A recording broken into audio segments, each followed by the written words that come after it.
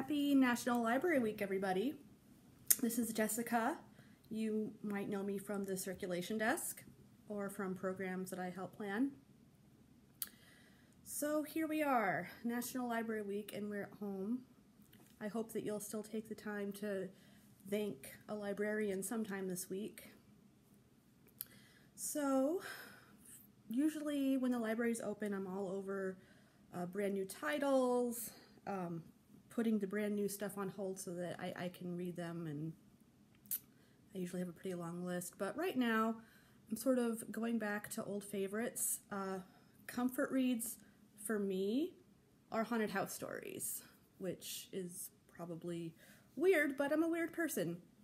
So uh, naturally, I had to revisit the big one, which is The Haunting of Hill House by Shirley Jackson, available on Overdrive and Libby. And um, it's something that I reread probably every year or so. And one of the fun things about rereading is uh, rereading through a different lens. Sometimes I read it imagining that um, that Eleanor is imagining all the things that are happening to her in Hill House.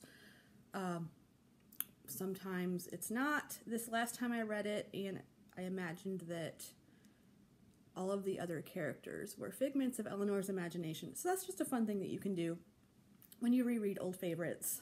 Anyway, I recommend it. I'm also doing a lot of knitting.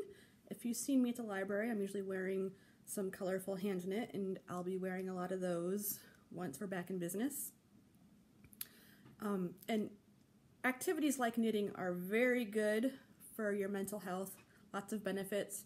Google them if you don't believe me, but I'm finding a lot of solace in that. Also, putting my words down on the page, so journaling, um, I'm finding is something that helps alleviate the anxiety I feel right now.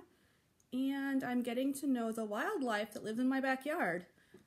Where I live, there's a lot of squirrels. Um, I've met the woodpecker. I've heard the robins. So that's um, soothing to me as well.